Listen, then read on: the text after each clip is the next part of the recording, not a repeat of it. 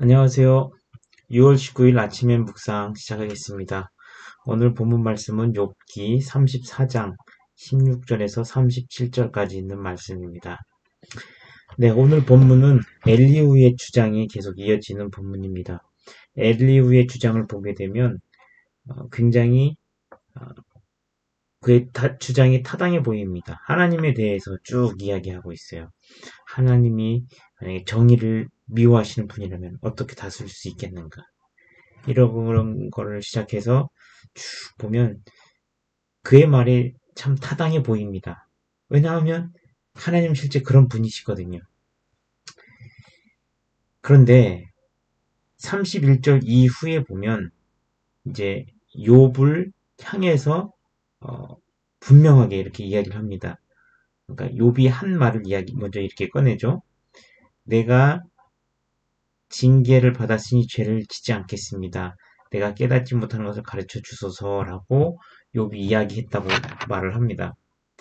어, 이렇게 이야기하는 이유는 엘리후가 욥을 볼 때, 욥을 볼 때라기보단 욥이 당한 일을 볼 때, 욥이 분명히 어떠한 큰 죄악들에 의해서 그거에 대한 처벌로 하나님으로부터 벌을 받고 있다라고 생각했기 때문에 이런 일들을 하고 있는 것, 이야기를 하고 있는 것입니다.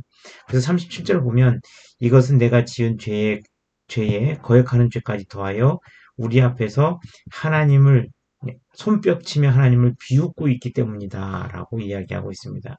그러니까 하나님을 하나님 앞에서 죄 지은 것을 넘어서서 하나님을 비웃고 있다라고까지 표현하고 있는 것이죠.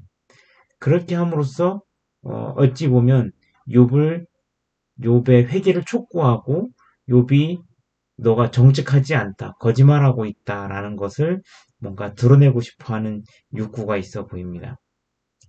그런데 여기에서 보면 어, 욥의 입장에서는 사실 굉장히 억울합니다.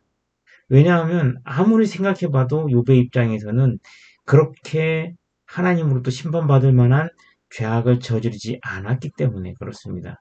억울하죠. 예. 사람의 입장에서는 오해할 수도 있습니다. 예. 엘리후가 어쩌면 이런 오해를 하고 있는지도 모르겠습니다.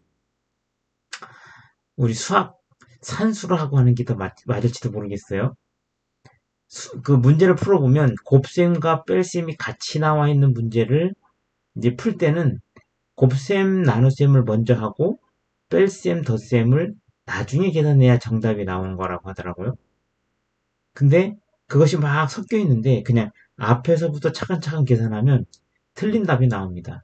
옛날 TV 어느 프로에 어느 배우가 그런 문제가 나왔어요. 그래서 앞에서부터 차근차근 풀었더니 오답이 나왔던 그런 모습을 보게 됐었습니다. 어쩌면은 그냥 나와 있는 현상을 보고 그냥 손쉽게 판단해 버린 결과로 엘리오는 이 욥을 정죄하면서 그가 뭔가 죄를 지었다라고 확신하고 있지 않나 하는 생각을 해봅니다. 오해에서부터 사람을 쉽게 판단하는 결과를 가져온 것이지요. 드러난 현상만을 보면서 실제로 어, 욥이 얼만큼 하나님 앞에서 정직했는지 물론 그거를 이제 증명할 수는 없죠. 이 엘리후의 입장에서도 욥을 욥이 어느 만큼 큰 죄를 저질, 저질렀는지 확신할 수 없습니다. 왜냐하면 모르기 때문에 욥 당사자는 죄를 짓지 않았다고 얘기를 하고 있고 나온 결과를 볼 때는 분명히 죄를 짓고 드러난 천상 같거든요. 이런 입장, 이런 상황에서 어, 엘리오는 욥을 계속해서 뭔가 어, 규정짓고 이야기하고 싶어 하는 것 같습니다. 어쩌면 욥이라는 사람도 어, 자기가 당한 일들을 보면서 진짜 내가 모르는 죄악들이 있을 수도 있다라고 생각할 수 있을 것도 같습니다. 어쩌면 그래서 오늘 본문 32절을 보면 내가 깨닫지 못하는 것을 가르쳐 주소서라고 이야기하고 있는지도 모르겠어요. 그럼에도 불구하고 우리가 이러한 현상들을 볼 때 하나님 앞에서 우리는 어떻게 반응해야 할까? 그게 참 큰 질문이고 늘 고민이고 그러한 것 같습니다. 음, 옛날에 옛날도 아니죠. 한 그래도 한 30년 전에 제 동생이 당한 일 하나 한 가지가 기억이 납니다. 어떤 일이었냐면 그 시골 마을에 그 문구류를 파는 한 사, 상점 뭐 전빵이라고 해야 되나요? 그런 데가 하나 있었어요. 근데 거기에 못된 친구들이 가끔 거기 할머니가 이제 매점을 보고 계시는데 그 할머니가 안 계실 때 가끔 몰래 들어가서 물건 훔치고 하는 일들이 있었나 봐요. 그 사, 그러한 사실을 우리 동생이 한번 본 적이 있었나 봐요. 그거를.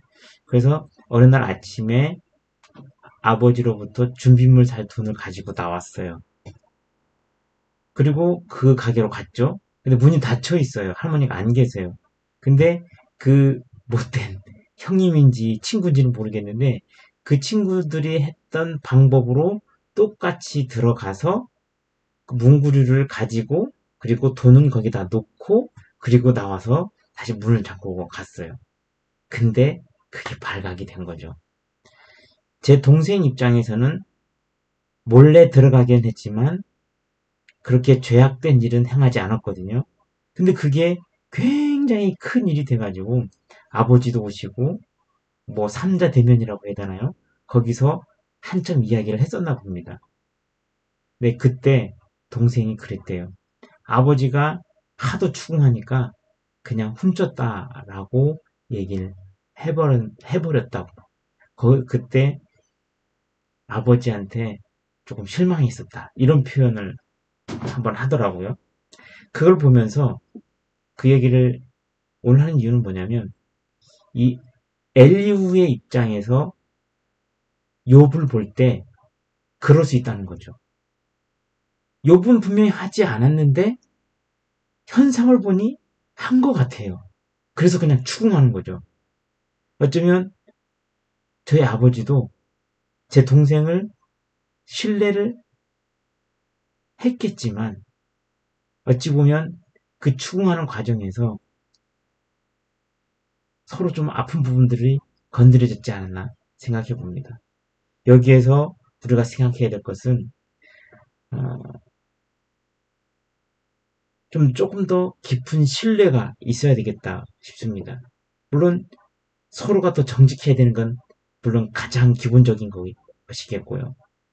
그래서 오늘 생각할 부분은 뭐냐면 음, 한 사람이 받는 시련 앞에서 너는 죄인이다라고 쉽게 정지하지 않기를 소원합니다.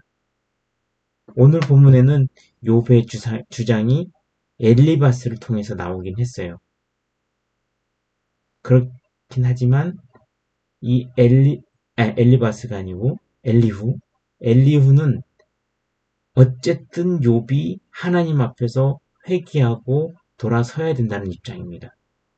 그것만 계속 주장하면 욥은 한없이 한없이 아, 대화하기가 힘들어지고 더 깊은 수렁으로 들어갈지도 모르겠어요. 욥이 스스로 정직하다고 얘기했다면 우리는 아는 사람의 입장에서 형제의 입장에서 그를 믿어주고 기다려줄 수 있었으면 좋겠습니다. 그리고 그 다음은 하나님이 하시겠죠. 네. 진정성이 있는 이야기라면 계속 우리의 색안경을 끼고 그들을 바라볼 것이 아니라 진짜 진정한 우리의 마음과 마음으로 서로 교통하면서 그의 진심을 알아보는 게 더 우선일 것 같습니다. 계속해서 너는 잘못됐다라고 얘기하기보다 그를 조금 더 알아가려고 더 깊이 물어보고 우리 형제로서 더 안아주는 일들이 더 많아졌으면 좋겠습니다. 힘 있는 사람에 의해서 약자가 잘못된 뭐라고 할까 그러지 않았는데도 불구하고 마치 그런 것처럼 되어버리는 현상이 일어나서는 안 될 것입니다. 우리가 하나님 앞에서 더 정직하고 또 더 신뢰감 있는 관계를 우리의 주변에서 만들어갈 수 있기를 소원합니다. 기도하시겠습니다. 사랑이 많으신 하나님, 우리가 삶을 살아가면서 여러 가지 오해할 일도 많이 발생하고 오해하게 되기도 합니다. 하나님께서 우리를 붙들어 주셔서 오해하지 않고 어, 서로 신뢰하는 마음에서 서로 믿어주고 서로 격려하면서 아름답게 삶을 만들어갈 수 있도록 하나님 함께 해주시옵기를 소원합니다. 참 우리가 부족합니다. 부족함에도 불구하고 우리를 사랑하시는 하나님. 우리가 하나님을 음, 뭐라고 할까 원망하고 어, 하나님 앞에서 하나님을 오해할 수도 또 있겠다 싶습니다. 그럴 때마다 우리 마음을 붙잡아 주시고 하나님을 오해하지 않고 온전히 하나님을 잘 믿고 섬길 수 있도록 인도하여 주옵소서. 또 우리 형제들과도 그러한 신뢰관계를 잘 만들어가면서 하나님 앞에서 정직한 하루하루를 잘 살아낼 수 있도록 하나님 함께하여 주옵소서. 감사드리며 예수님의 이름으로 기도합니다. 아멘.